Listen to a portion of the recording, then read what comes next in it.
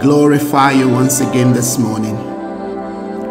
Thank you, Lord Father, for your eternal principles, your eternal words that never fail. We bless you, Lord. We come before you once again with our heart open unto you. We rejoice in you. We celebrate you. You are worthy of glory, you are worthy of honor. Hallelujah.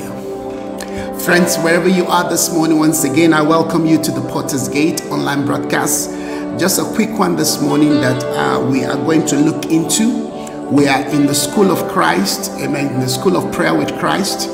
This is uh, what we will be at least looking into for a while. I don't know for how long, but um, our prayer morning session, you know, is being tagged in the School of Prayer with Christ. And the reason for that is we are told that the disciples of Jesus, they say, Lord, teach us how to pray.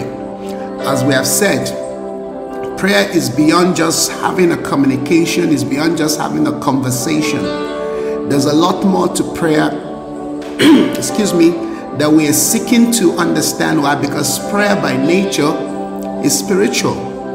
And if and if anything, amen, is spiritual, we need to learn. And the best teacher to teach us about the things of the spirit, of course, is Christ.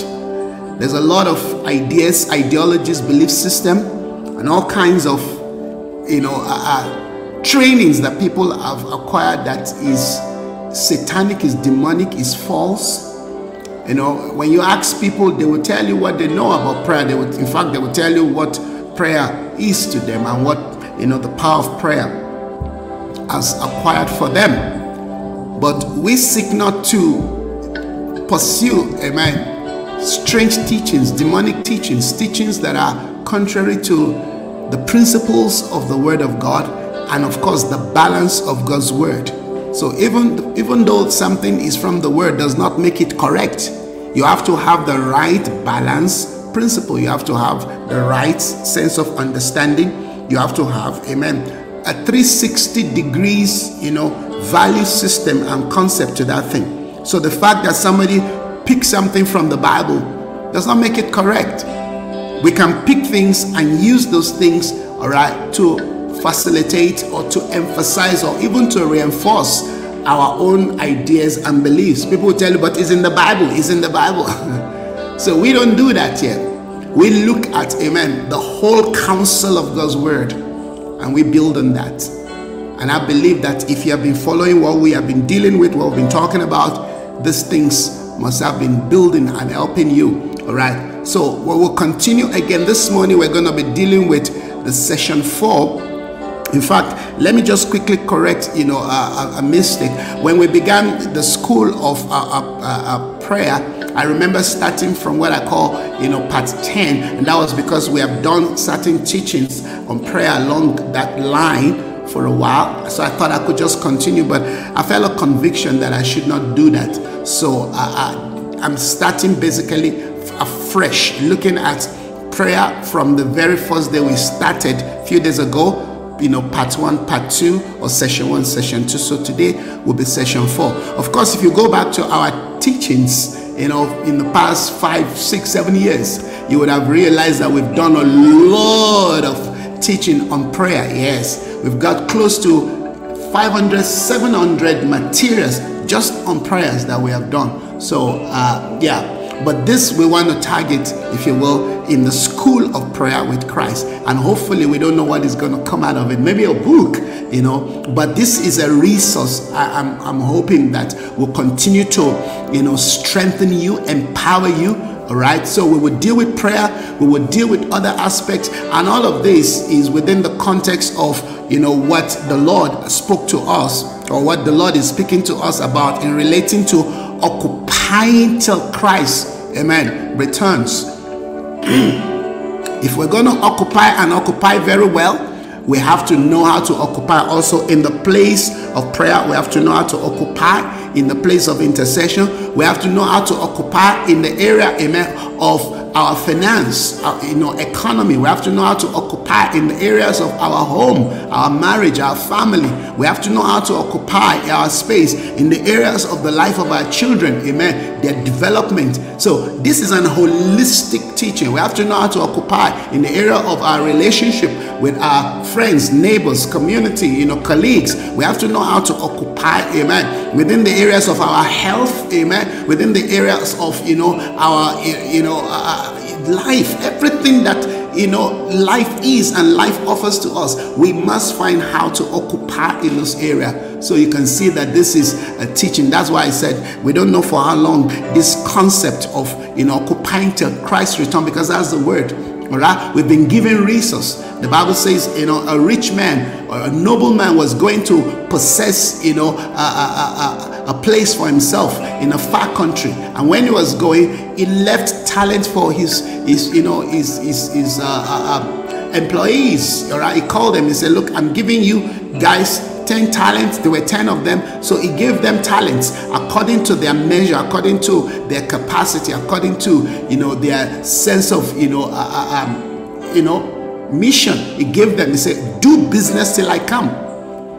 Right and we see that as a you know as as you know as a parable that god has you know given to us as the church all right to occupy, to do business. If you're going to do business, you have to transact. You have to get yourself involved. You have to get your hands dirty. All right. You've got to you've got to be on ground. Amen. All irons must be on deck. You understand? It's not something that you do. You know, uh, disconnecting yourself. You can't disconnect yourself and and occupy.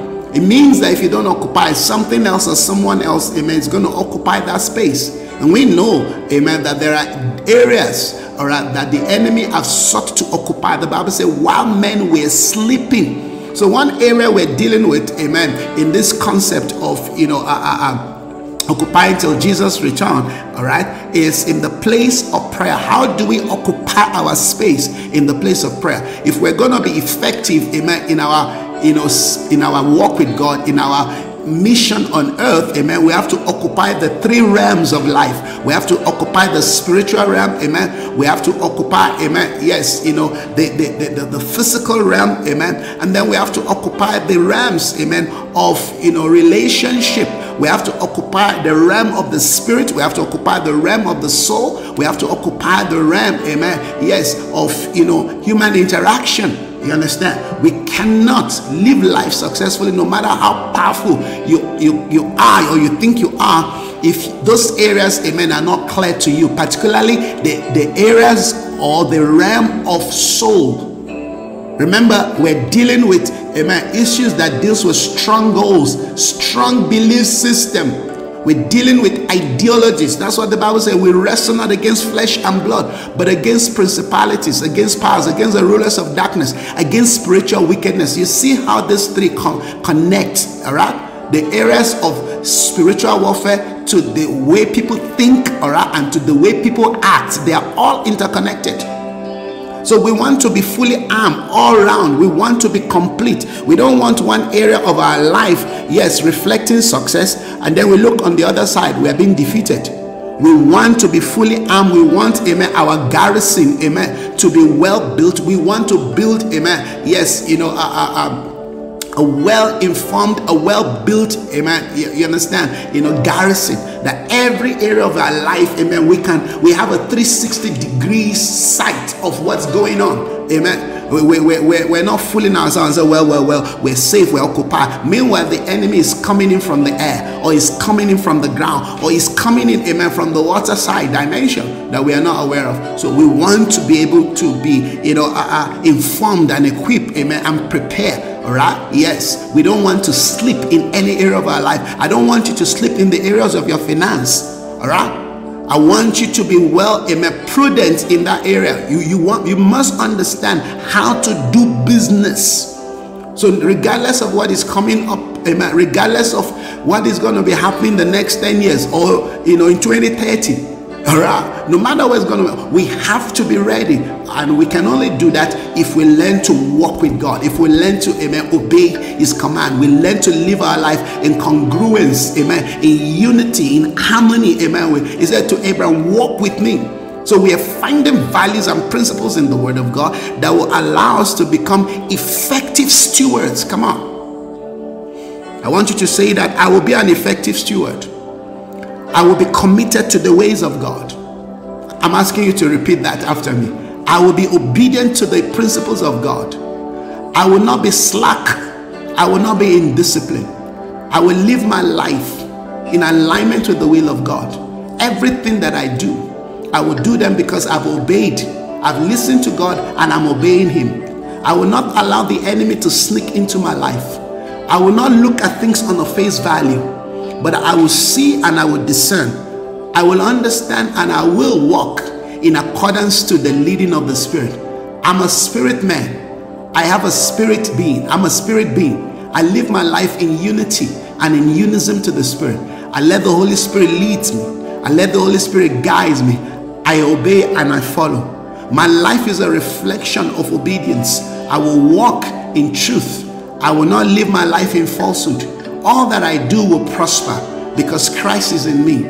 All that I lay my hands will prosper because I do them in obedience to His will. I declare that today my life is in submission to the ways of God. No sickness, disease, or infirmity will befall me.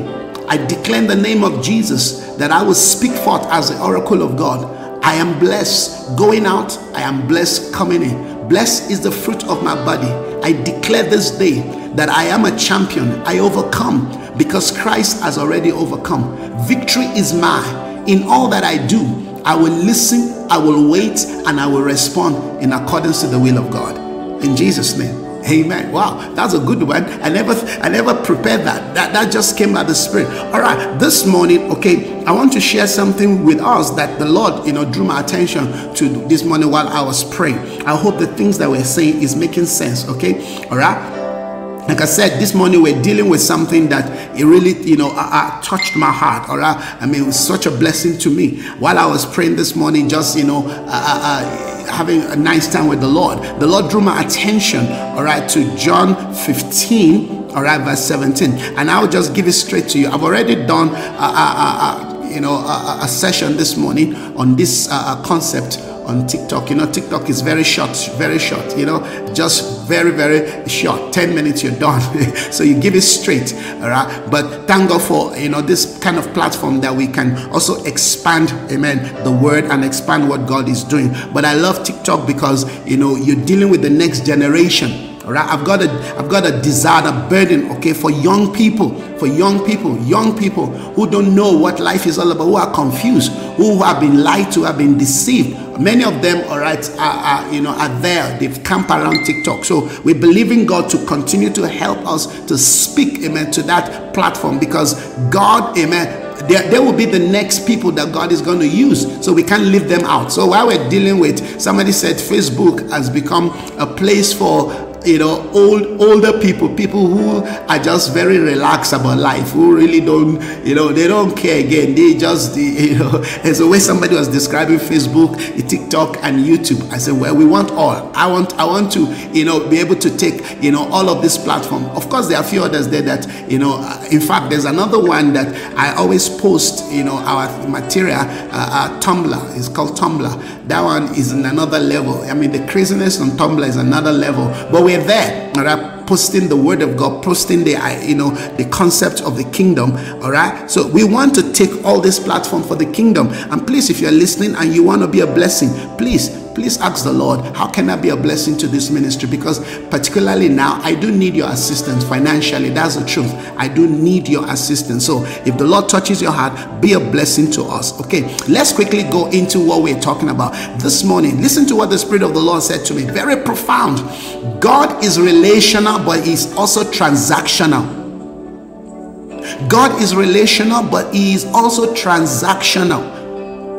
Now, this statement, as simple as it may sound, it is the most powerful, amen, you know, belief system you can ever have. And if you understand it and you build on it, it will change your life. oftentimes when we when we engage God and we engage the word of God, remember we're dealing with prayer. Now, how we understand God defines how we pray. How we understand God defines how we pray. You can't pray outside of amen the framework of your knowledge of God, of yourself, and the world around you. You pray amen what you believe. You pray what you what you see. You pray what you understand. You pray the values that you have come amen to accept. That's why when you listen to people pray amen they, they, they pray differently the way people pray amen speaks to how they have been open to god to the things of god. Some people amen when they pray like I always say, if you listen to people's prayer, you will know where they are spiritually. You will know their spiritual orientation. You will know where they're coming from and of course you know where they are and you know where they're going. There is no place that exposes amen our our sense of understanding our sense of ignorance than the place of prayer and this is, I believe, the reason why God gave us, amen, the tool of prayer because prayer is a place that we go to get to be spiritually developed, to get to be spiritually informed, and of course, amen, transformed. We get to be informed and we get to be transformed. All right. Yes, I do believe that when we come to God in the place of prayer, rather than Him just meeting the needs that we present to Him, all right, He begins to use our request, amen, in fact, to start to change us. I believe prayer is more of a place where we get to change than where we go to collect. They would have just said, I believe that the place of prayer, amen, is more of where we go to be changed, where God engages us. I know the reason why most people don't pray is because they are afraid to engage God. They're afraid to open their heart. They're afraid to. Ex- it's like when you pray, you get to be exposed. yes, because the moment you start praying, all right, no matter what you are presenting to God, God will start speaking to you even about the things that you are not, you know, talking about because you're a spirit being. Every human being, amen, can hear God. God will not create you to be a spirit, amen, without giving you the ability or capability, amen, to hear Him. You may not, amen, respond, you know, uh, accurately, but you will hear Him. And oftentimes, when we hear Him, we run to the wrong place. We run to the wrong people because of how we have been shaped. How we have been shaped, amen. Our environment shapes us. When when when when when I came to where I'm living right now, the, the, the, the nature, the environment, the kind of people here. You hardly see them. But you know you can feel amen that there's something in the air that you know is projecting something to you. One of the things that that environment is projecting is is pride. Is you stay on your stay where you are you know i'll stay on my side all right? Don't come near me you understand you, you hardly see the people because the houses are massive and big. You know, you, you, you know where I'm staying is on the prop, you know, on on an acre of two point something acres of land. So imagine you see everything massive and big. Now all these things, if you grow up in an environment like that, it, it can insulate you from certain realities. So, so the first thing I did when I came here, I began to do what you call spiritual mapping. I began to do spiritual mapping. I began to seek to understand, amen, the kind of spirit, the kind of value system, right, that governs, that rules the people, amen, in such an environment so that I'm not sucked in you can be a man of God and be in a particular area and be living in a particular place, amen, and not be aware of the ruling spirit and not be aware of, amen, the, the, the, the core, you know, a philosophy that governs that area. And before you know it, amen, you are buried. The Bible says the land swallows their inhabitant. Are you seeing how God is exposing things? So, so it's important, amen, that you know when we talk about prayer, that we, we don't just reduce it to just a need. We were looking at the scripture the last time. Let me quickly draw your attention to that scripture. I hope I can still locate it. Yes, the Bible says, then Jesus told them a parable Remember, whenever Jesus starts to speak in a parable, it means that he's speaking something very important, but he doesn't want that thing to be chipping down. So it, it's going to require people who can think, who are ready to go beyond just what they're hearing, who are ready, amen, to ask questions, who are ready to, you know, to dig deeper. That's why it's hidden. Truth are hidden in parables. Hallelujah. He was speaking to them in parable, amen, about their need and I remember saying that the way we understand need, amen, is totally different from the way He's presenting need to us. There's a need. When you understand the need or you understand God's definition of need, it changes how amen, you look at life, it changes how you interact, it changes how you pray.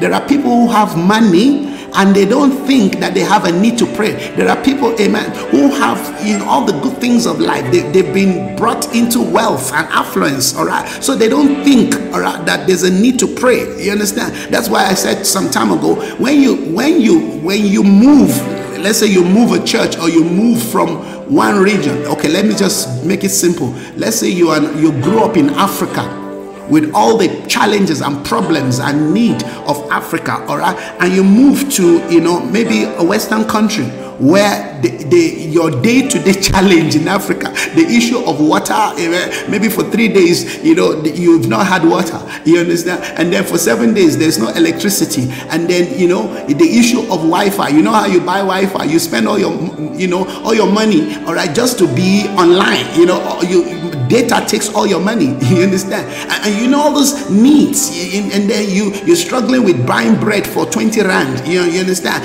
And then you've got you know those you know social you know day-to-day domestic needs. And you're, you're, you're combating you're fighting those needs daily. Those are the those are the things that takes up 70% of your prayer. You understand? Yes. And then suddenly you are moving to an environment where all those things are provided. Everything is provided for free. Because that is the environment. That is you know how the society is.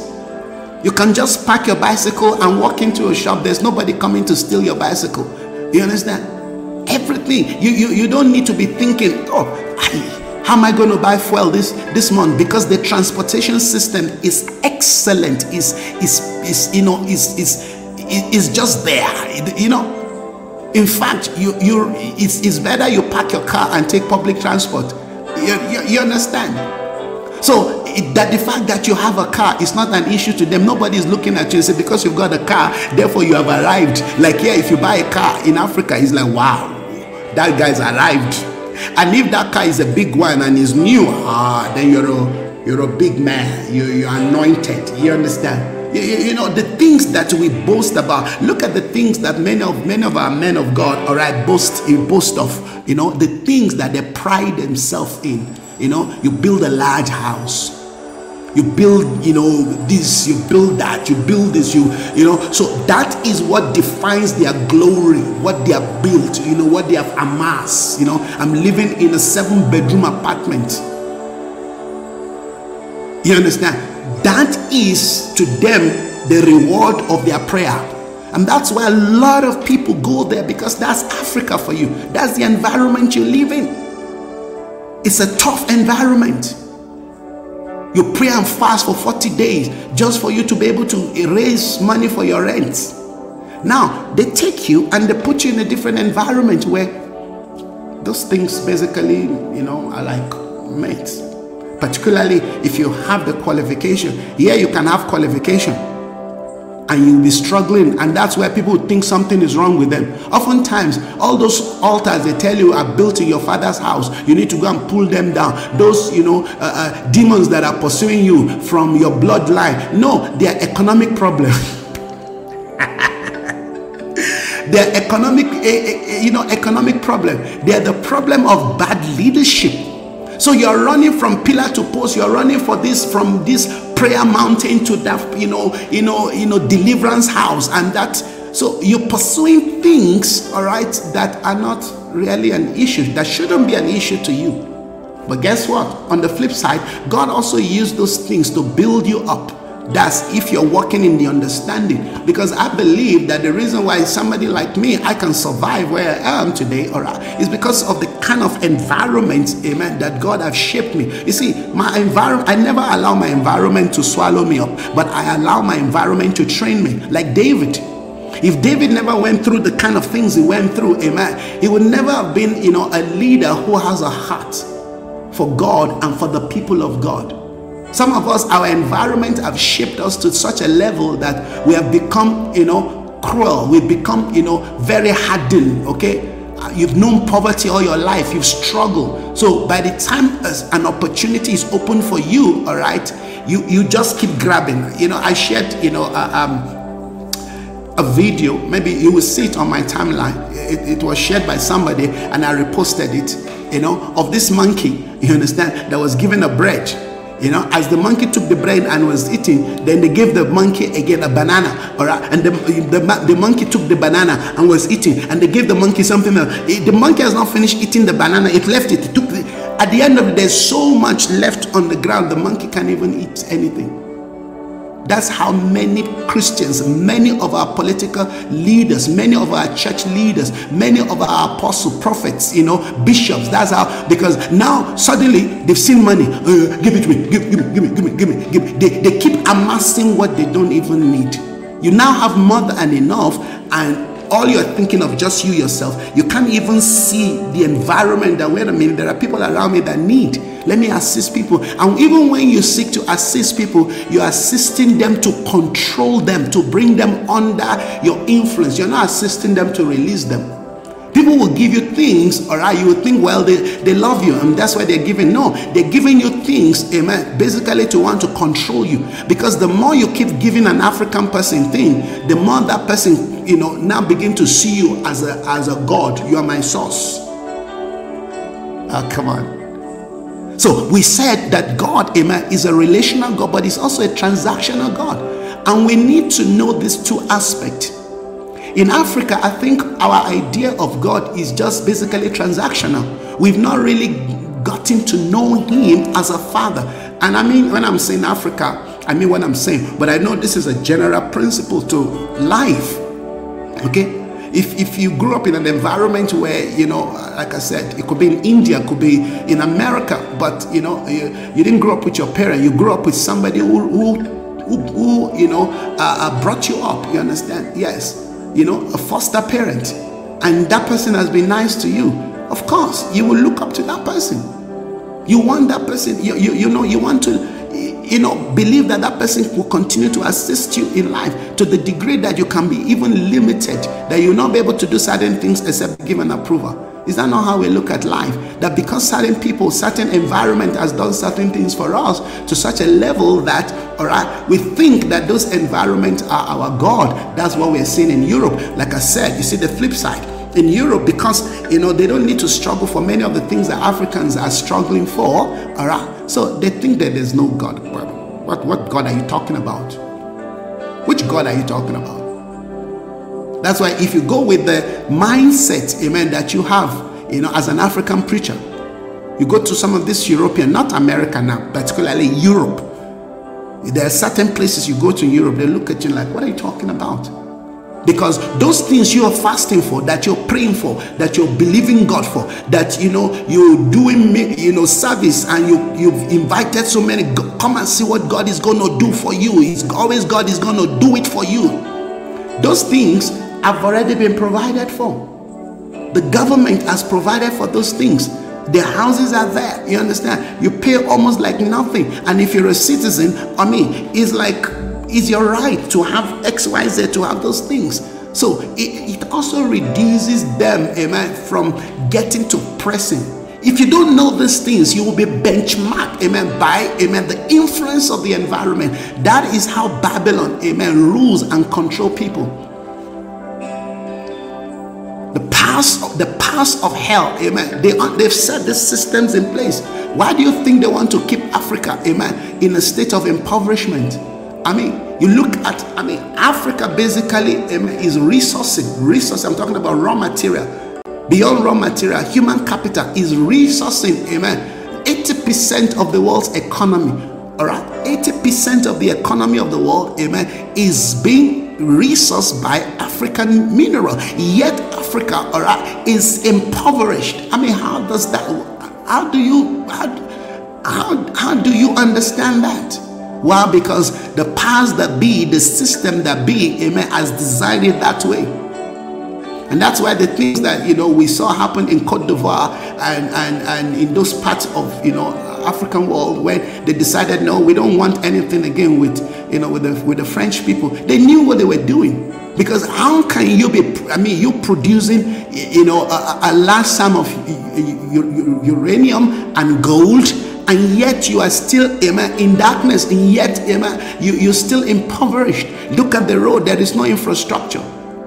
So they will sponsor coup, they will sponsor this, they will do that just to keep the people divided and keep the people in darkness. And then the church goes there and all right, and capitalizes on the need of the people, all right, and say God is going to do it for you. I mean, that is a mismatch. That's what we're seeing. That is the ideologies of how people run, amen, ministry. You can't run ministry on that, you know, dimension of, of life and think God is going to be happy with you. You, you, you, you, you, you know, you weaponize poverty. You weaponize, amen, ignorance. And in fact, you weaponize bad leadership Many of some of our leaders, you know, are, are, are in bed with many of our spiritual leaders are in, in bed with bad political leaders, bad political leaders. Those leaders go and pay homage to them and say, Don't worry. That's why you watch election time. Watch where the the the, the you know the political leaders are going. They're going to the church. Hardly, yes, some of them go to the mosques, but how did you see them go to the mosque? They go to the churches.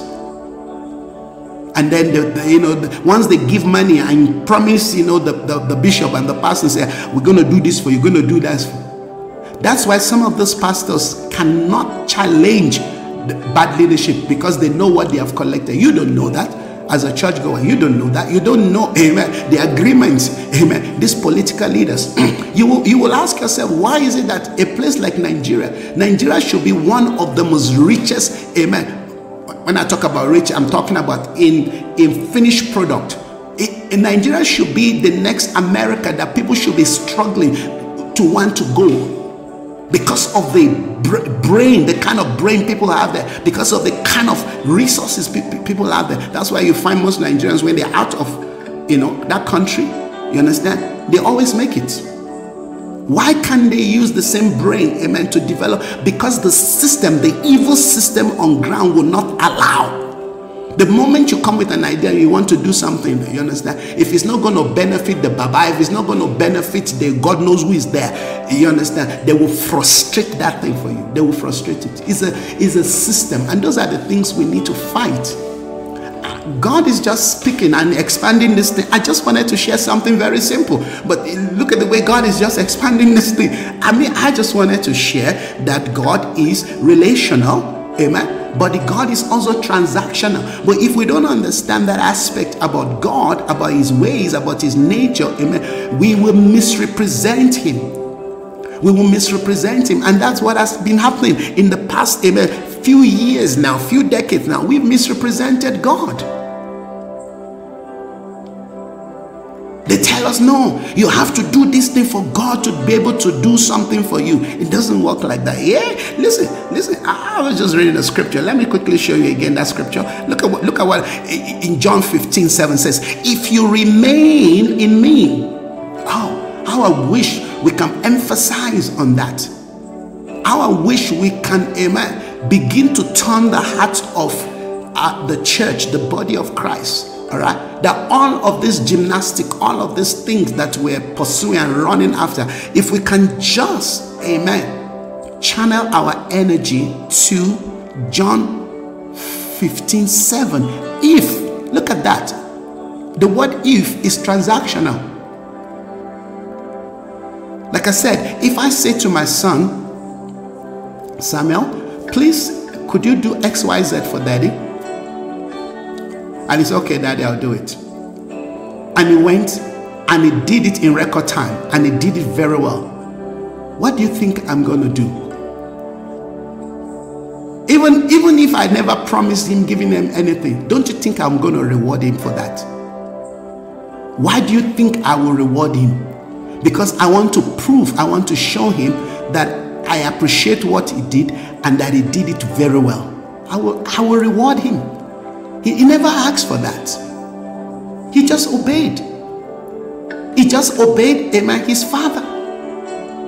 Because he knows that I'm, I'm, I'm daddy, I'm, I'm father. All right, he goes. He knows. He understands what fatherhood means. The fatherhood is, amen, when father speaks, I must obey. That is Isaac for you. Father said, Isaac, we're going to Moriah in one of the mountains God is going to show us. We're going there to sacrifice. The father took the wood, laid it, laid, laid the wood on his head. You know, historians actually said that Isaac was about 17 years old when that happened.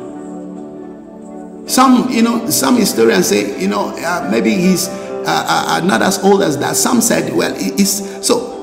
No matter what, Isaac was not two years old. Neither is he five years old. Neither is he ten years old. He had the opportunity to fight and say, "No, daddy, no, daddy, I'm not. I'm not. Mean, or you know, this wood, eh, daddy, this wood I'm carrying. No, no. How do we carry wood? to, did you notice that Isaac, uh, when they got there, Isaac asked the father, "We have the wood, we have the knife, we have the fire. Where is the sacrificial lamb?" What was the reply of the father? God will provide. Ah, could something be wrong with our understanding of fatherhood in our day? could something be wrong? Because if we don't understand fatherhood, our entire structure of Christianity and spirituality is built on a rubble, is built on a sinking sand. Jesus. I'm telling you, friends, I just wanted to, you know, just drop the scripture and then let people go about their day to day. But God is expanding this word our wrong understanding of fatherhood, amen, can lead to a wrong, amen, theology of God. Note what I've said. God is, amen, by nature, God is relational, but He is also transactional.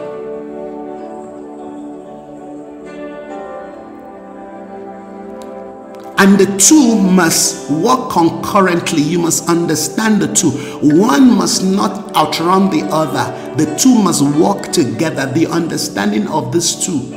The way your father or you interact with your father, all right, when you were born, how as you're growing up, will define and determine how your life will pan out. As it is in the natural, so it is in the spirit. The way God has been introduced to us is the way we will relate with Him. If I say to my son, like I said, and he does, I reward him. But if I say to my, my son and say, please, can you do X, Y, Z? And he just walked away. In fact, walked away and ease and snub me and ignored me. How do you think I am going to react to him? How do you think I'm going to amen, respond to him? What do you think he has just done? Disobeyed me, disrespected me. Amen. Basically saying that, amen, I'm nothing, that my position as a father in his life means nothing to him. So do you think suddenly I'm not I'm not going to start slapping him with blessing? And say, Oh, wow, what, what you said, my son, you know, it, it is very nice. What you did is nice. In fact, here is that key for God knows what. Here is that, you know, uh, Xbox you've been asking me for. Here is that, you know, uh, uh, you know, uh, bicycle. You, no, no, I'm going to withhold my blessing because I want to teach him a lesson. I don't want to kill him. I can't say because of what he did, all right, and then suddenly because I want to punish him and I know I'm going to put his hand in the fire just for me to let him feel that you disobeyed your put put him put his hand in the fire. I'll never do that. Hell was not created for amen God's children. Hell was created, amen, for for the devil, his fallen angels, and those who refuse God, who rebel and say, We will not follow you, we won't serve you. That's what hell was created for.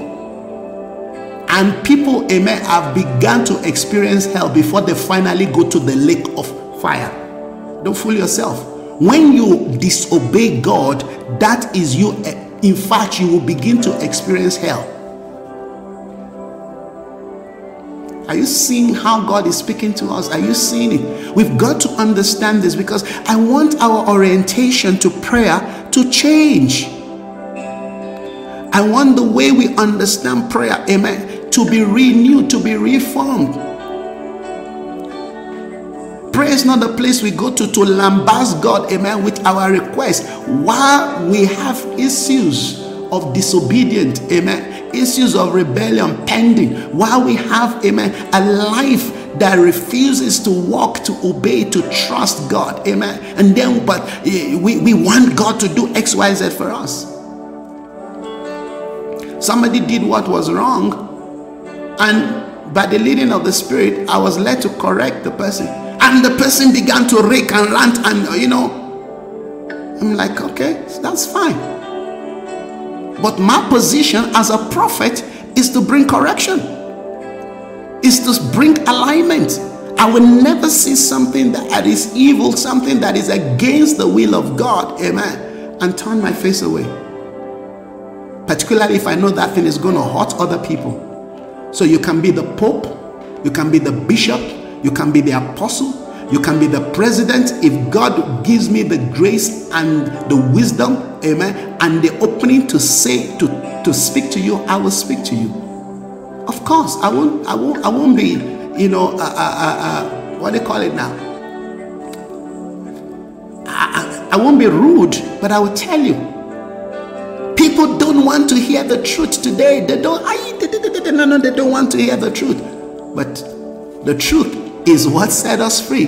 But we can't be free, amen, of the truth with the truth if we're not ready to listen. That is why there's going to be judgment. That is why, amen, you know, a people, amen, God uh, uh, uh, judged by God, God, you know, God condemned, amen, a generation in the days of Noah. We all have it, it's still in the Bible. The generation of Noah, amen, perished. Why? Because they disobeyed God. Why? Because they lived their life, amen, outside of the principles and the values of God. God used Noah, amen, who the Bible called, in fact, a righteous preacher. Check the Bible. The Bible called Noah a righteous preacher. The life of Noah, the things he was doing, amen, was preaching to them. They refused to believe. How will they know without a preacher? That person you know is living amen, a life amen, that is in rebellion to the ways of God, and you, know that the life that person is living is in fact leading other people you know astray. And you turn away just because all right you don't want that person all right to charge at you. You don't want that person you know you know to to get angry at you. You don't want them amen yes to call you names that is what the Bible says. You are ashamed of, of, of Christ before me. He said, if you're ashamed of me before people, I will also, amen, yes, be ashamed of you before my Father and his angels. You think I'm bothered about your position, your influence, your money? You think that bothers me? It doesn't bother me. My values is source in God and in his word. So if God permits me to tell you the truth, I will tell you the truth. I tell myself to tell myself the truth.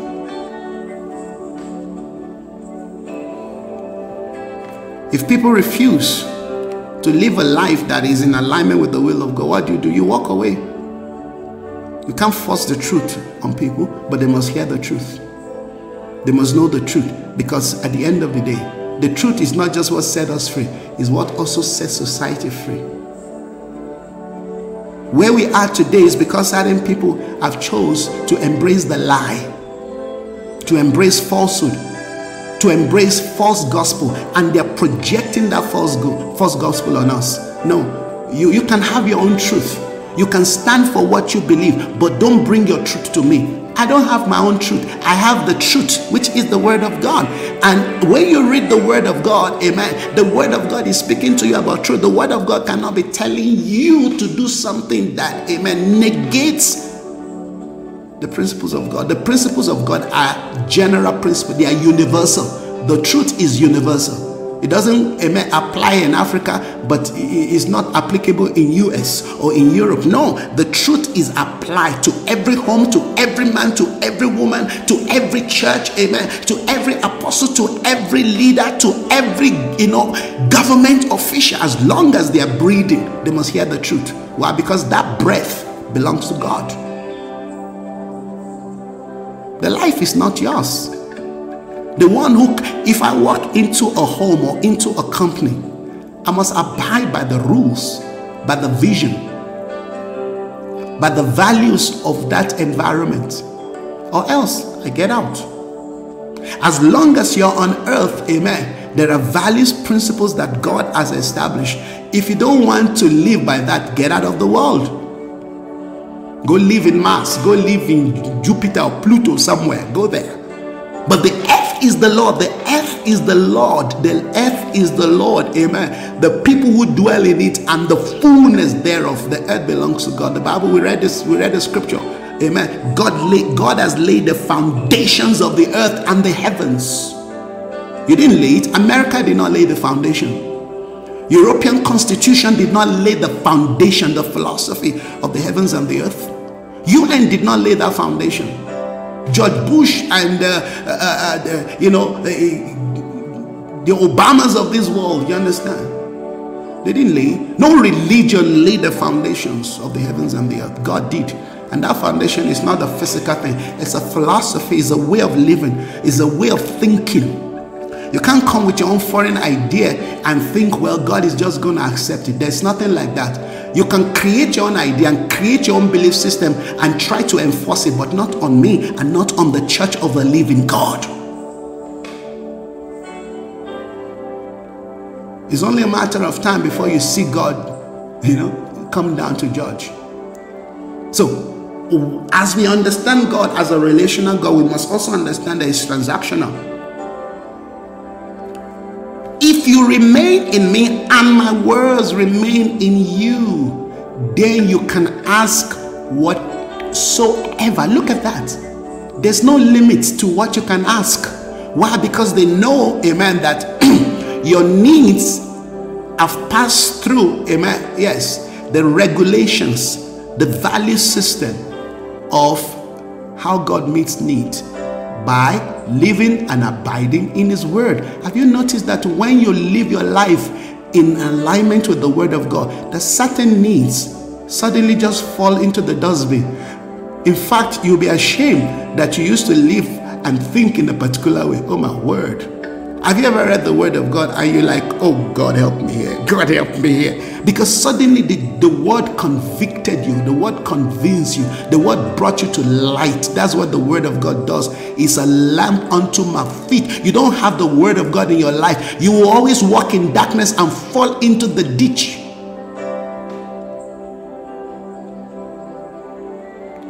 Your word, not the word of another man not the word of the president, not the word of the great philosopher. Some people today built their life on you know on the on the words of Socrates, on the words you know of you know of all these you know philosophers. The people who build their life on the words of those great philosophers, where is those things today? Where is the, the, the, the Greek Empire? Where is the Roman Empire? Where is the Babylonian Empire? They've become rebels. But their ideas are still being projected and they're still becoming rebels. That's why we say the battle of the last day is the battle of truth. What is that? It's a battle of philosophy. It's a battle of ideologies. What do you believe? What do you believe? If you remain in me and my words not the words, amen, of men, not the words of your politicians. Not the words, amen, of your bishop. Some people believe more in the words of their bishop because the bishop picked a word, the apostle picked a word, amen, the prophet picked a word, amen. The, the, the pastor picked one word from the word of God and built a whole castle on it, and then you believe in it. You believed in a lie. The word of God, amen. Yes, is, is, is an entire counsel. The Word of God is an entire order of a life, is a system. You can't hold on to one truth and reject the other truth. No. They say when you're invited to the table of God's Word, you don't and pick what you want. You eat the entire thing. They say to Ezekiel, eat the entire scroll, eat the whole loaf.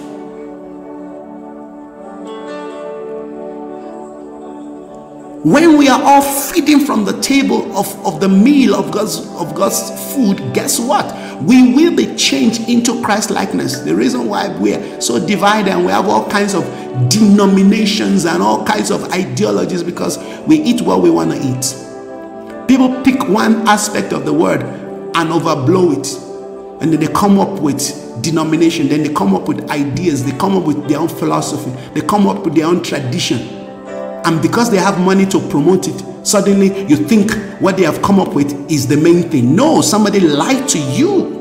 Go into the word and find out what has been written for yourself and stop believing in a lie. If you remain, you remain, you have to remain. You have to be there, you remain. Don't jump in there and jump out. You have to remain. I'm laying a foundation of how we can effectively pray because prayer is beyond just what you say. What you say comes from a place, it's coming from an ideology, it's coming from a belief system. What you're saying, hallelujah, is coming from a thinking pattern. You can't just say things and think, well, God approves it. You can't just say things and you know and believe that yes, uh, uh, it's fine. It, it, can just work out.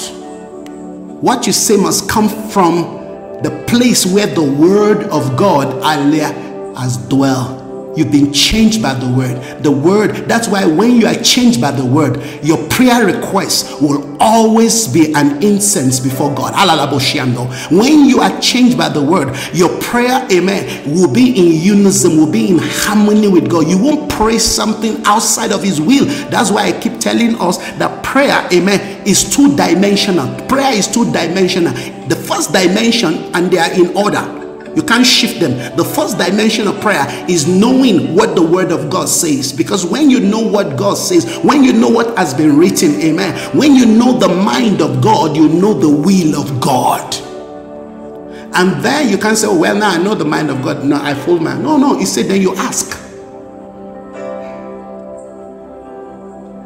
Then you ask. Then it's given to you. Because you're not going to be asking, amen, from, from a point of ignorance what did the Bible say? For we don't even know how to pray. The Spirit, how can the Spirit be praying when you don't have the Word? The Holy Spirit will make use of the deposit of the reservoir of the Word of God in you to, amen, to help you to pray. You think the Holy Spirit is just some mechanical thing. We said yesterday that God's things, spiritual things, are not automatic and they are not automated. Spiritual things are not automatic and they are not automated. Just put it there. So every day the thing will just be producing. No, no, it doesn't work like that. God is relational. He wants you to come daily. Daily, they said, Amen. The, the you know the ashes of yesterday's fire must be taken out of the altar. You must bring in fresh wood. The fire on the altar must not go out. It must burn daily. For it to burn daily, somebody must keep it alive. For the fire to burn daily, somebody must be fueling that fire because at the end of the day, the light, amen. Yes, the more you the more you spend light, the more you you you you know you keep the light the, the, the light on, the more you burn oil, the more the weak, amen, get weaker. So the more you need to trim the weak, and the more you need to, amen, keep fueling that thing, amen, with oil daily, daily. This is what the anointing is for. The anointing is not for you to go out there and da, da, da, no, no, no, no, no. The anointing is for you to sustain your relationship with Him. When they say, touch not my anointed, you have been anointed, amen, for a relationship. No, when we think anointing, we just think of execution. Every execution has got a root, has got an history.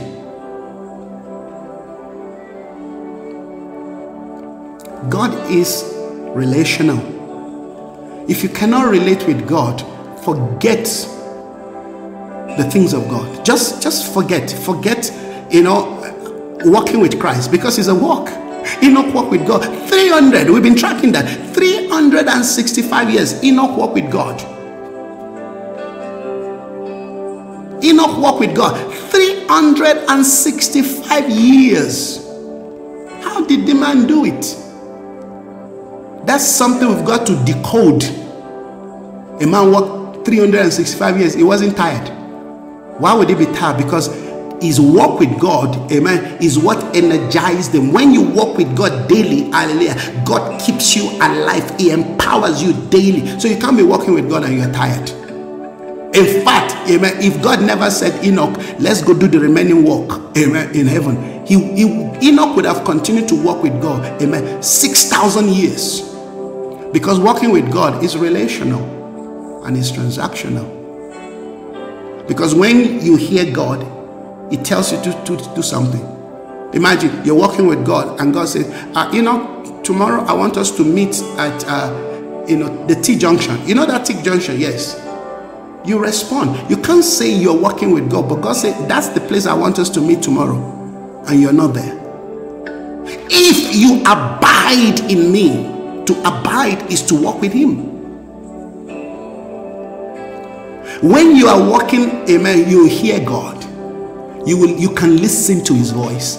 Ah, I can't hear God. the reason why you can't hear God is because you're not walking with him.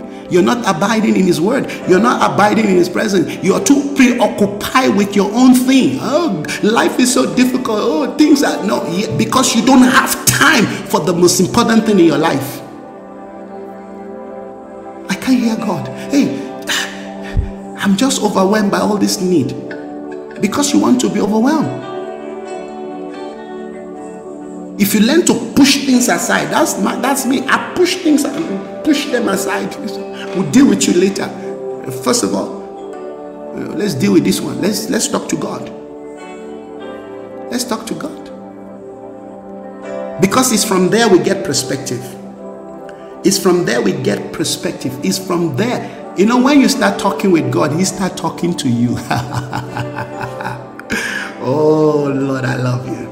When you start talking with God, He start talking to you.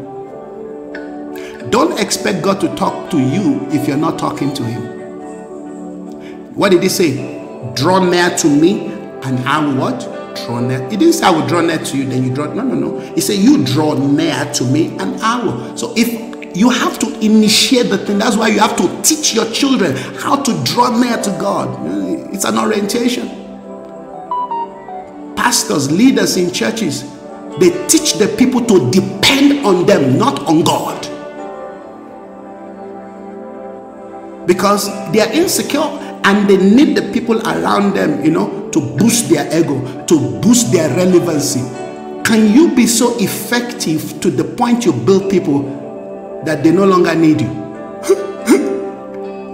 that is effective leadership.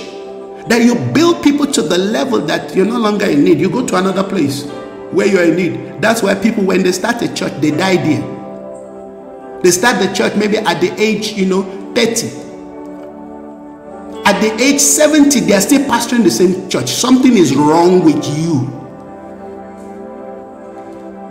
the church is not your heritage it's not your inheritance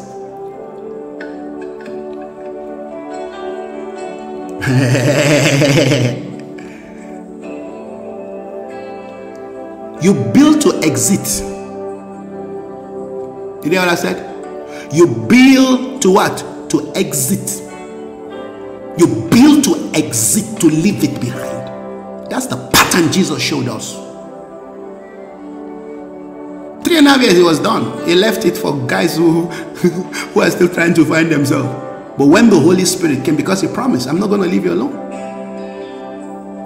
Do we have enough belief and confidence in the Holy Spirit? Oh, Jesus.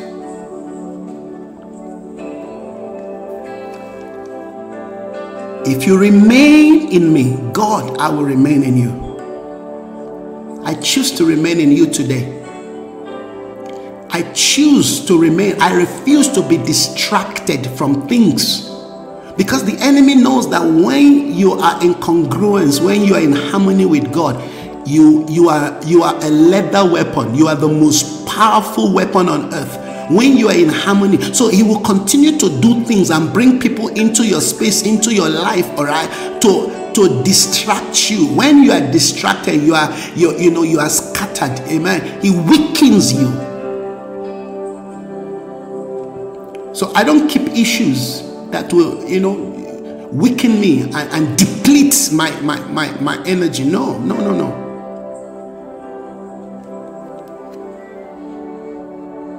Are you hearing? If you remain, Jesus asked a question. In fact, he was saying, he said that he hoped he will find faith when he returns. Will the Son of Man find people living and still walking by faith when he returns? Talk, talking about occupying till he comes. Do we have the kind of orientation, spiritual orientation, that when he returns tomorrow or next year or 10 years' time or 100 years' time, if, if we are alive, that we are still remaining that we are still remaining, we're still abiding. Is somebody listening? Can we have that kind of belief system that when he returns, he will meet, he will find faith on earth? Or will the wind of Babylon sweep us away? The challenges of the times that is dragging people away from prayer. You see, prayer, like I said, it's not, it's not about God meeting your need. It's about you walking with God. That's the essence of prayer. Prayer is a place where we get to be resourced, we get to be energized daily, we get to be empowered. It's not just about you. Listen, when you understand the Father, you understand God as your Father. He said, Before you ask for something, He will be given to you. When you understand the Father, the idea of need, your perspective of need changes. He's your Father. The duty of a father is to make sure that, amen, the children are provided for, are cared for, are protected. You understand? They are resourced. It is an irresponsible father that will look at the shoe of the son or daughter, you know, singing praises to God, open, and will take his face away. Even the most poorest father, when you see, there's something about the need of your children that pushes that moves you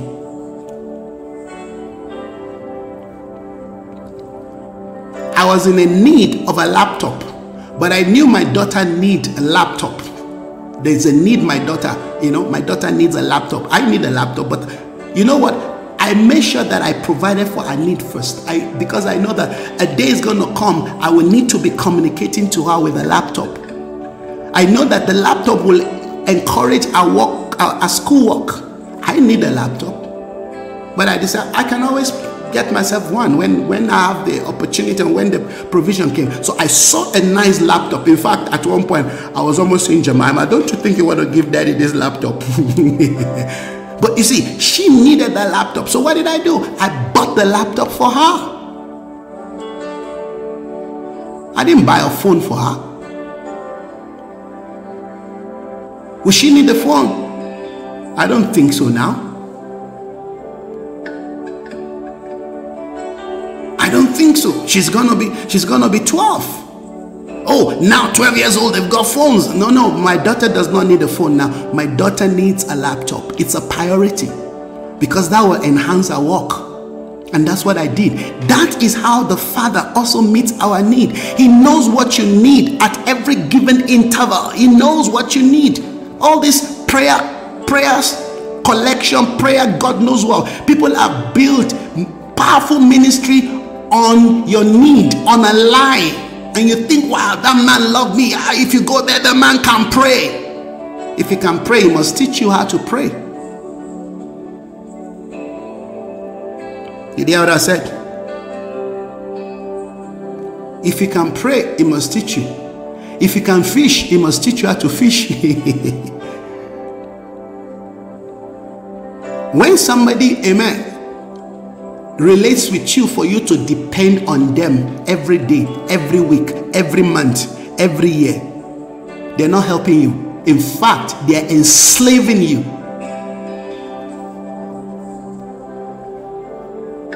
Did you hear what I said? They're enslaving you. There are ministries today, all right, that are built on the principle of Pharaoh, principle of Egypt. You keep building pyramid, you think you're building ministry. Ha! Go to that church, that guy in Abuja, he can pray. One of my one of the one of the disciples, one of my disciples that I trained when I was a pastor, he starts sending me, you know, uh, you know, uh, uh, you know, uh, a, a, prayer request, a prayer program of this particular. I don't want to mention the the pastor's name, but he's very popular now on the area of prayer, and he's built powerful big ministry in Abuja, Nigeria, on prayer. And people are giving from, from Kenya, from God knows where, they're sending money to him. So he was sending me some of the, and I called him. And I said, in fact, I didn't call him. I sent a message to him. I say, you dare not again send me these links. You know where I stand on this truth. So if the things that I have taught you 25 years ago is no longer true to you, then let it be. But you don't send me to. So he, had to send a message to me and start apologizing. No, he didn't mean it that way. No, because you the things that I taught you that ought to have built the foundation of what prayer is, you never believed in it. But you're looking for, you know, somebody that is, is going to do it now for you. God does not work like that. You know that. I don't build ministry to, you know, to enslave people. To inf- uh, ministry is to set people free.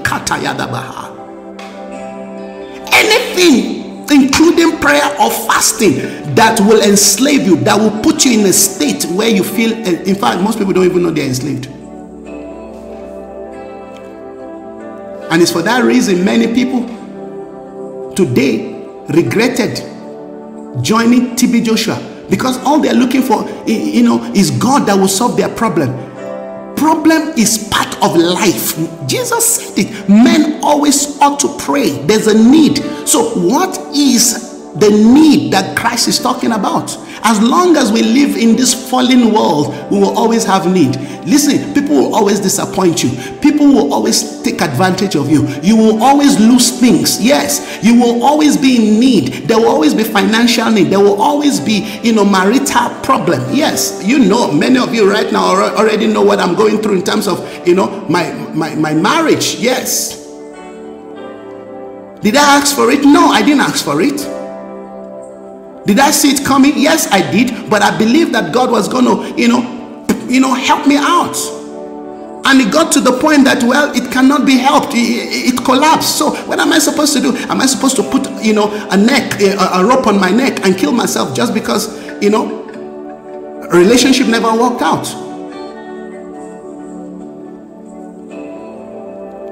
There will always be a need in our life, and if we don't know how to manage those needs based on the principle of truth, you'll be running from pillar to post and you end up hurting yourself more. And the enemy will finish you because he knows that he has destroyed your theology, he's destroyed your foundation, he's destroyed your belief system.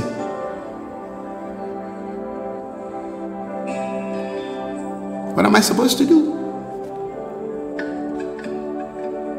Am I supposed to take God to court and say the very thing that I've, I've challenged all my life, that I've stood against, has happened to me?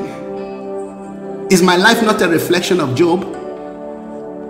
I, uh, am I supposed to say, you know, the principle of Job is no longer applies to life? That God can give you power, money to build things, and tomorrow it collapses the thing for His glory. Are you not supposed to say, no, it's not biblical, it's not the word of God? Who told you that? Our orientation of God and the way God moves in our life is skewed. You're pumping money to a ministry and you think the man is going to perform a magic. There's no magic.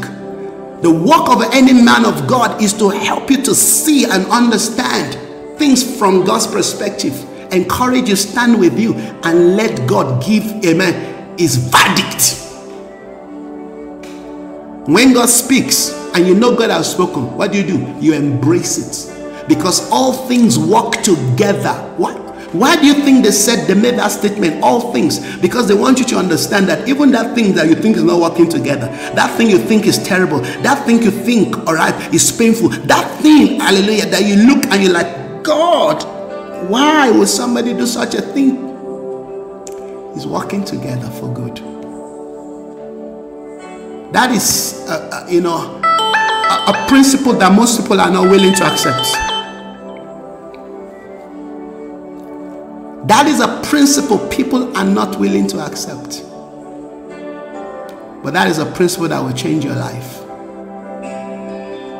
That is a principle that will transform your existence. All things work together for good. If you abide in me, as long as I know I'm abiding in Him, I don't know who is calling me while I'm broadcasting.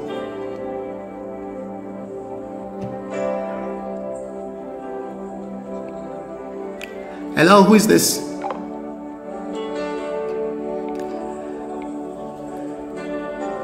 I thought somebody's calling for help. Maybe they need they need a prayer. You know, okay, okay, we can do it, deal with that later. But even that, they must stop. You know, disturbing me. Are you getting what, what I'm sharing, friends? If you abide in me and my words abide in you, the word is a regulator the word, amen, is a refiner. The word of God, yes, is an amplifier of truth and the mind of God. The word, hallelujah, yes, is a renewer. I mean, just read scripture. The Bible tells us what the word of God is capable of doing. The Bible says, amen, the word of God will refine us. When you are refined, you just know that, well, that is the request I need to present. This one is not a request. This one it's just me trying to trying to bluff, trying to prove too that I have arrived, I can have something. Some of the things we call needs, in fact, you know they are not needs. They are just wants. They're just you flexing your, you know, your selfish carnal desire. Yes. If you abide in him and his word abide, he said, ask anything, anything, and it will be done. Wow, what a guarantee. God is a transactional God, but is also a relational Father. The two must work hand in hand. When you know that you don't seek to bribe God, you can't bribe your way into his into his heart. You can't bribe your way, either by money or even by spiritual things. Somebody, I'm going to fast. I'm going to fast 40 days. It's good to fast. The fast is to align you, is to bring you into unity and into harmony so you can hear God clearer, you can hear Him better, and you can have the power to obey Him, but not to change His mind, not to change His word not to change his standard. Your fasting cannot change God's standard. Your fasting cannot change, amen, the ways of God, the will of God. Your fasting cannot change, amen, the principles of Christ. No, you're sorry. Sorry. I'm sorry. If I've just burst your bubble. Remember, I wrote a book on fasting. So you can go read my book on, on, on, fasting. Give you clear insight of what fasting is all about. Because those churches, those ministries will tell you, no, come, we will fast. We will fast. There's some ministry in Nigeria, they'll tell you they're doing, you know, 120 days, 100 days. I'm like, hey, you guys, you've done beyond Christ. Someone is, I'm, I fasted for 80 days. So what do you think that is? Or what do, how do you think that makes me feel? That you are some spiritual guru? It proves your foolishness and your stupidity. Because not even Jesus fasted for 80 days. When you tell your congregation or people following you, you fasted for 80 days, you're projecting something in their mind that is evil. You are building a false doctrine in their mind. Jesus fasted for 40 days. That's it. And he didn't fast another time again. I live a fasted life, so I can tell you these things. And now I do fast continually. But I know I'm fasting. I don't I don't think maybe while I was a young Christian, I was fasting to get things as I grow and I began to understand spiritual things, spiritual things, not the things that sound or may look spiritual, not religious things that we call spiritual. Because today, when somebody tell you this is spiritual, when you probe that thing, you realize it's not spiritual. It's just being spooky. In fact, they are soulish things. When you begin to understand God and the ways of God, what you begin to seek for is to be more like Christ. Christ is the pattern, He is the standard, and He is the yardstick of life, of ministry. Anything Jesus did not do, you are not permitted to do it. Anything you don't see Christ do, you do it, you build an, an altar, you build, amen, yes, a high place. You build an idol. And you can do that in your mind or through your hands.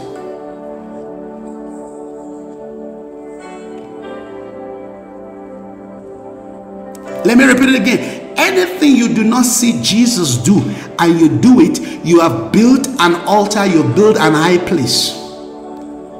And it's coming for you. It's coming for you. Every Jesus said, Every tree my father has not planted will be what? Uprooted. what do you think trees are to him? Trees are ministry. trees are relationship. Trees are things, amen, that takes the resources of God, that waste the resources of God. Because for a tree to be planted and to remain, tree is sucking, is sapping, amen, the resources of God. You don't have a resource to your own, to yourself. So they say, Why cumber the ground? Cut it down. It's coming for you. It's coming for that thing you call, you know, your ministry. Is is going to pull it down. Is is coming for a glorious church without spot, without wrinkle, and without blemish. Don't fool yourself you better start adjusting and stop that nonsense prayers. You can't bribe God. You can't accelerate the things of God by prayers that are not in alignment with the will of Christ. So before you begin to pray, seek to know Christ, seek to know his ways, seek to know his word in fact, before you begin to seek to know his kingdom, seek to know the king. Many of us, we've written, spoken, declared things about the kingdom of God, while our understanding of the king is very minimal, it's very meager. And we've, we've written, we've built big things about the kingdom. It's all description. It's time to come into experience. We were with him on the mountain. The things we're speaking of are, are the things we've seen. We've, amen, we've touched, our hands have handled. We've got to bring the nations to the place, amen, of experiencing Christ. When they experience Christ, they will experience the kingdom. When they say the kingdom of God, amen, yes, is righteousness, peace, and joy in the Holy Spirit. That is a life in alignment with Christ the King. We cannot experience or function in the kingdom outside of the ascended revelation of Christ. He is the king upon the throne. He is the king who sits upon the waters. If you abide in me and my words abide in you, then ask. When those two things are not done and you're asking, you're asking amiss. James. You ask, but you receive not. Why? Because you ask amiss. You ask for your own selfish gratification. You ask for your own selfish desire. You ask, amen, to promote your own thing. There are people who are asking things around church and around what they call ministry that is for their own selfish gratification. And you think God is going to meet that need. In fact, oftentimes when people tell we pray and God answered our need, it's not the, it's not God that answered those needs because God will not answer a need, all right, that that negates the nature, the values, the principle, the standard, amen, of Christ, who is the pattern. So when you when you hear people say, God, look at what God has done, and in the midst of all that thing they're showing you, please look for Christ. If you can't find Christ, it's not going to answer that prayer. God will not answer a need that will lead you to darkness, that will lead you to compromise, that will lead you to forget His Son, that will lead you to forget His Spirit, that will lead you to promote something, amen, that is not revealing Christ to the people. Oh, come on, that's that's a hard one, right? Yeah, yeah, yeah. The nature of the days that we live in re, re, re, requires and demand that we go and re-examine the things that we have built and we have called God. Men are building all kinds of gods in the minds of people and using prayer, using fasting, using, you know, even the Bible. People have built, right, powerful, you know, soulish ministry on strands of truth, strands of truth. I don't want to start mentioning names. They have so built and perfect this thing that even governments, governors go to those churches and pay homage, and you see them like this. when you build truth on one strand, you build ministry on one strand of truth, and you think you've arrived, God is coming for you when he begins to shake the tree of that ministry. God told me years ago about a particular ministry. I will not mention the name. God said, I will shake the leaves of this tree, and every leaf will fall, not one will remain. And I will speak death to the root, and it will dry up. But for those who seek me and who desire my ways, I will begin to bring forth a shoot out of that which has been cut off. I will not forget. Because if I mention the name of the ministry, you will say, How dare you? but I heard it clear. I was still in Nigeria. And the ministry now, they are building towering things, towering things. And you think, will that prophecy ever come to pass?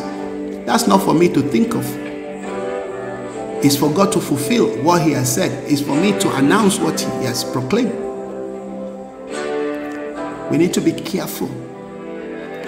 Lest you think that the, the prosperity and the increase of what you stand for, your building, means the approval of God. Sometimes it means God is keeping that thing for a day of destruction. That's the story of the Tower of Babel. God did not come down when the thing was on the foundation. They had gotten to certain height. Father, we honor your name. I hope the things we've shared this morning really has brought perspective and understanding to our lives, to our space, because that's my intention. I want you to see these things, to appreciate these things, we want to build for Christ. We want to build a strong prayer life. Prayer is an entire spiritual philosophy. It's not a it's not a strand of an activity. It's an entire spiritual philosophy that must walk and speak to every part of our existence as people of God. Your prayer cannot be outside of your relationship with God. Your prayer cannot be outside of your relationship with the body of Christ. Your prayer cannot be outside of your relationship, all right, with your brother, with your neighbor. You see, the things that Jesus said in his word, they are not just there for fun or well, he's just wasting his word. When he says, when you come, amen, to the altar and your brother has an issue against you, he said, leave your offering, go and settle with that person, and then come offer. Those things are principle.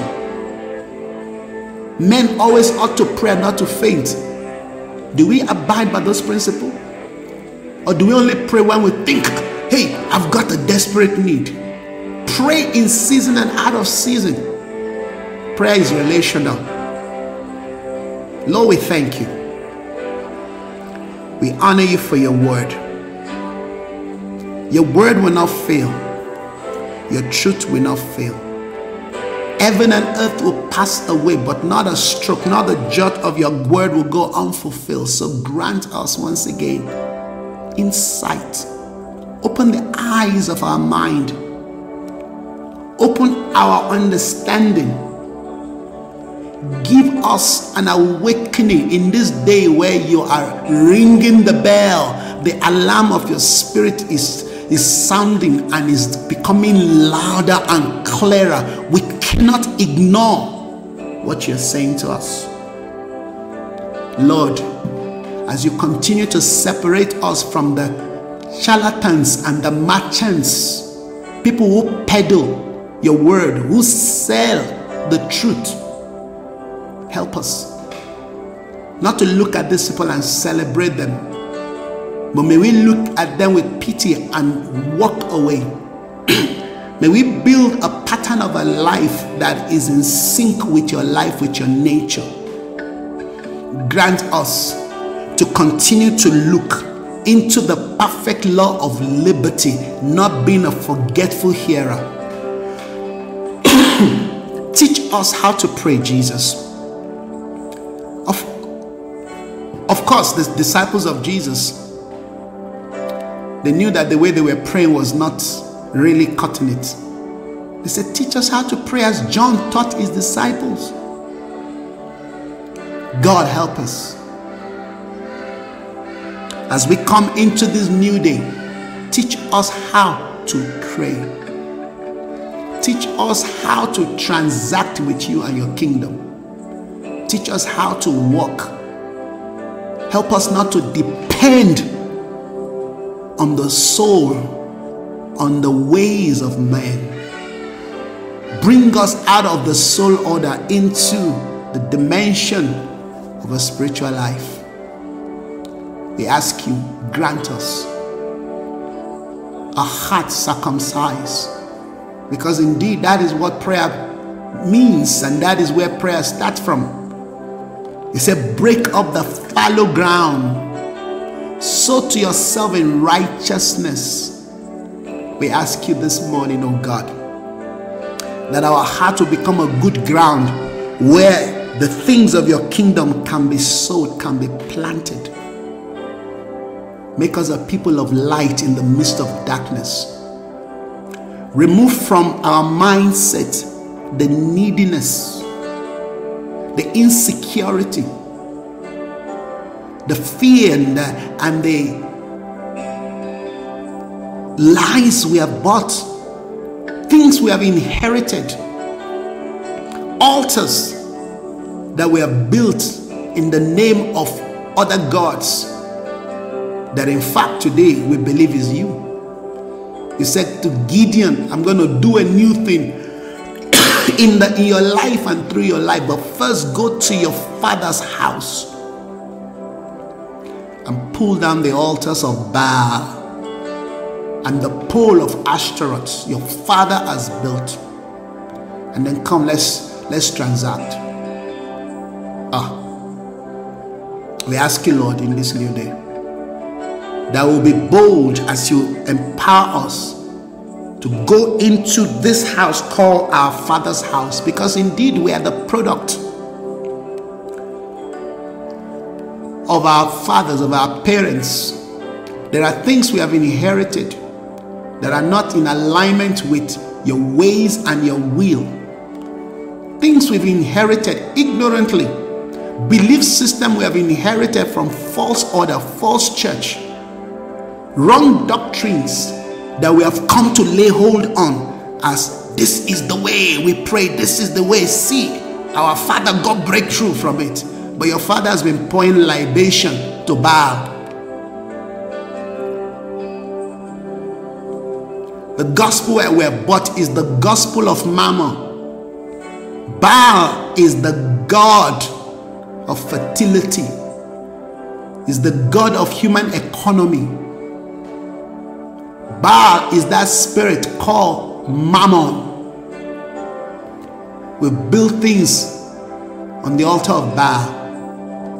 You will notice that when Elijah began to repair the altar of God, he, brought back, amen, the economic system of heaven. Not only did they pour water, because you know, when we talk about the restoration of the altar, we always think of amen the the, the, the, the, the, the bulls and the water. You forget that Elijah also said, bring grain, grain, grain, point around the altar. Is the principle of the economy of God. He restored back the order because the nation have been sourced by the economy of Baal. That's why God cut down the economy, shut down the heavens, no rain. Because they believe that Baal is the God of rain. Baal is what, amen, what provides rain and, and fertility. And, and, that's why they indulge them there in, in, themselves in all kinds of sexual immorality. When you see men of God, pastors who have indulged themselves in sexual immorality, they have opened themselves to the altar of Baal. It's that thing that empowers them. That's how they renew their, their sacrifice and their covenant. That's why the, the system of the world projects sexual perversion. It's the spirit of Baal. It has wangled its way into the church and into the heart of those who call themselves gatekeepers. That's why in this new day, every one of us must look into our life and seek for purity purity. That's how God restores our economy. Our personal economy, our family economy, and the economy of our nation must be restored on the altar of holiness. Righteousness exalts a nation. That's how powerful righteousness is. Maybe you don't know. Righteousness can literally hold the economy of a nation. Everything can be collapsing, but let's find righteous people. Bible says that man Noah, he was a righteous man. Therefore, he found everywhere you see righteousness, you find God's favor. You seek God's favor, but you don't want to walk in righteousness. It's another spirit will be projecting. That's why we must ask the Lord to help us to marry our public life and our private life into one order. When we abide in His word and His word abide in us, friends, we can go out and boldly declare, There's no sin in my life. Because Christ has become unto you righteousness. Christ is the one sanctifying you. Come on, friends. God is no longer turning his ways, eyes away from you know perversion. We're bringing down the altar of Baal. And when we bring down the altar of Baal, we're going for Jezebel. Are you hearing? There's a generation that will destroy the entire generation of Jezebel. That's why our apostolic belief system, our sense of kingdom government must be precise and accurate. The kingdom of God, the government of the kingdom of God starts with the people it's not just something you go and execute out there, it starts with you. If Christ cannot govern your life, you have nothing to build or say to the world because they will challenge you. Jesus, we know, Paul, we know. Who are you? Hallelujah. We bless your name, Father. Grant us grace. We are in search of what is called the ancient path. We want to find the ancient path we want to restore and recover all that your desire, all that you desire for us in this new day. Have your way. Take your place. May your kingdom continue to come into my life, into my space. Continue to invade everything my life is and represents. Let the warfare of your kingdom continue to prosper and advance in my life and through my life. This is my prayer, oh God, that I will not back down, that I will not come down.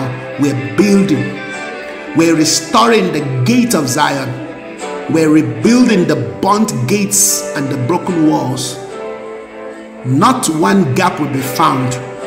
Wall to wall we will build, friends. Call upon his name. Call upon his name. It's a brand new day. Hallelujah. In Jesus' name. Amen and amen.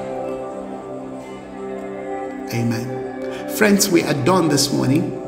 Thank you so very much for you know being part of this morning's live broadcast. I thought I was just gonna you know share something you know for maybe 30 minutes, but the Spirit of the Lord really came down and really drew us into this powerful session. I'm grateful to God in the way He's been speaking, you know, to us on this platform.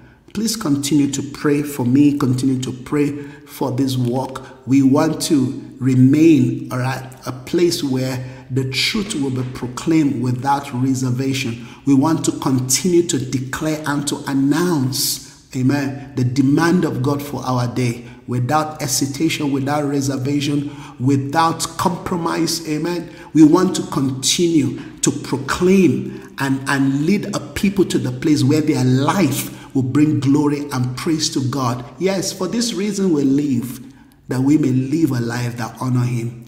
For His good pleasure we live. Amen. In Him we live, in Him we move, in Him we have our being. Let your light so shine that men may see it and give glory to God. Thank you so very much. Well, this morning we've dealt with a beautiful principle. Amen and I believe that this principle has really helped you. We've been talking about in the school of prayer with Christ, and we were dealing with John 15, all right, uh, uh, verse, uh, you know, 7. If you remain in me and my words remain in you, you can ask whatever you wish, and it will be done to you. This is the direction of our prayer this morning, and I believe that God has spoken to you. Thank you so very much, everyone that has joined us this morning. I hope God will continue. I pray God will continue to give you insight, direction, and a leading. Have yourself a wonderful and a prosperous day. I'll see you again, hopefully tomorrow, maybe as the Lord leads us. Bye bye.